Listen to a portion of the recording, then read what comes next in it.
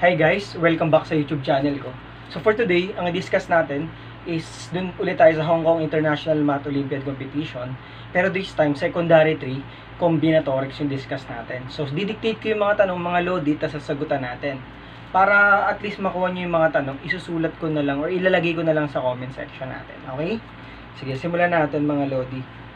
Number 1, find the number of combinations arranging three pairs of couples in a circle such that each pair of a couple sits together.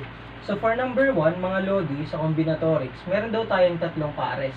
Three pairs of couples in a circular uh, table. Tapos ang sinabi, dapat daw lagi silang magkakasama. How many ways can we do this? So tandaan natin, kapag we are dealing with circular permutation, so basically the formula is n minus 1 factorial. So we have three groups. Bakit three groups are ij? Kasi we have three pairs. So that is n is equal to 3. Therefore, magiging 3 minus 1 factorial.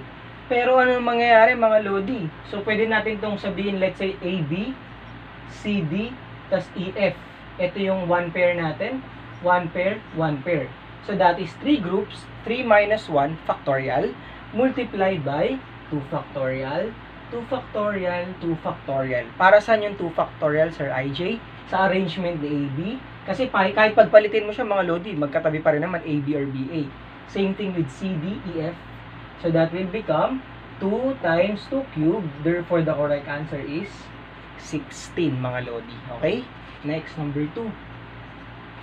So for our number 2 question, there are 6 red balls. So meron daw tayong 6 red.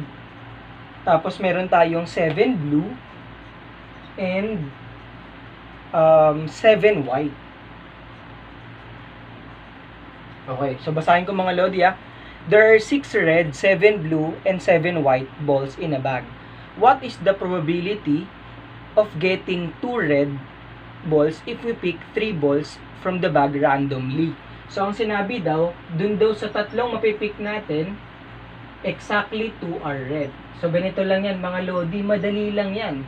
Napakasimple lang yan kung gamay, kung gamay nyo yung counting techniques. So, we have first to count the total number of balls. So, that is 6 plus 7 plus 7, that is a total of, ilan yan mga lodi? So, that is 20. So, ang gagawin natin, so probability, that is equal to, ilan yung makukuha nating red? Dalawa.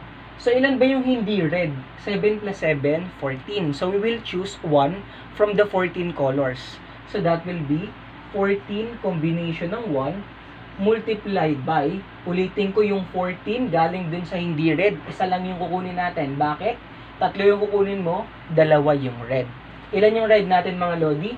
6 combination ng 2 all over 20 combination ng 3. Para ma-check mo kung tama yung ginagawa mo, ganito yung pag-check.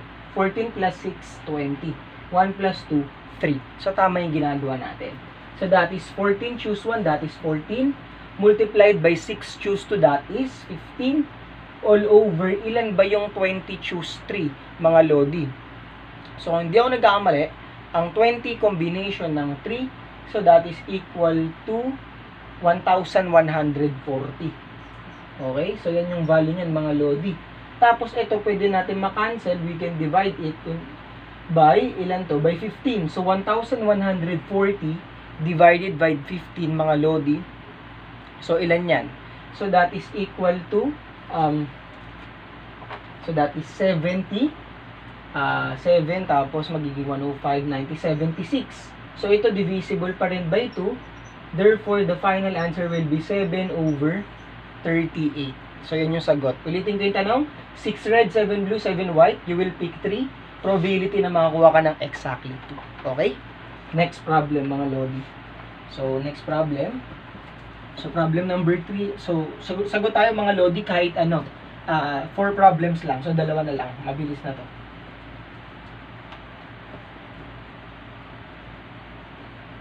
Okay, problem number 3. Okay? Given A, B, and C are integers, and all of them are greater than negative 4. Find the solution sets of A plus B plus C equals 4.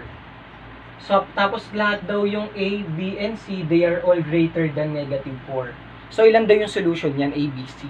So, ang tawag dito mga Lodi, stars and bars principle.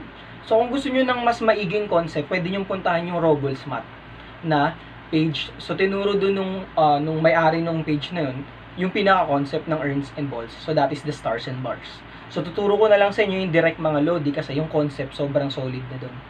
Okay? So, ang sinabi, all balls or all numbers are greater than negative 4.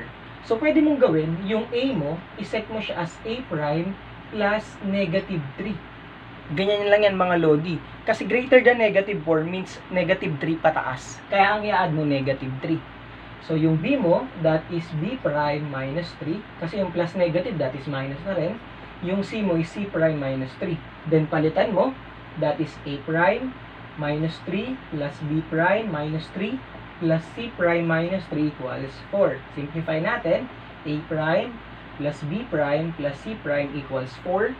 Um, 4 plus 9. So, that is equivalent to 13. So, applying the stars and bars, anong formula niyan? Dapat alam nyo. So, that is n plus r minus 1, combination ng r minus 1. So, yung n natin, yung total sa labas, that is 13. Plus yung r, ilan ba yung bibigyan yung distribution? So, that is 3. Tatlo A, B, C.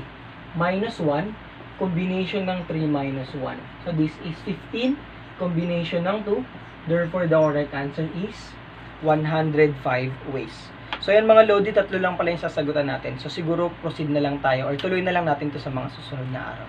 So, salamat Lodi sa mga patuloy na nagsusubscribe and nakikinig sa YouTube channel natin and I hope you all the best. Pagpalain tayo. Bye-bye for now.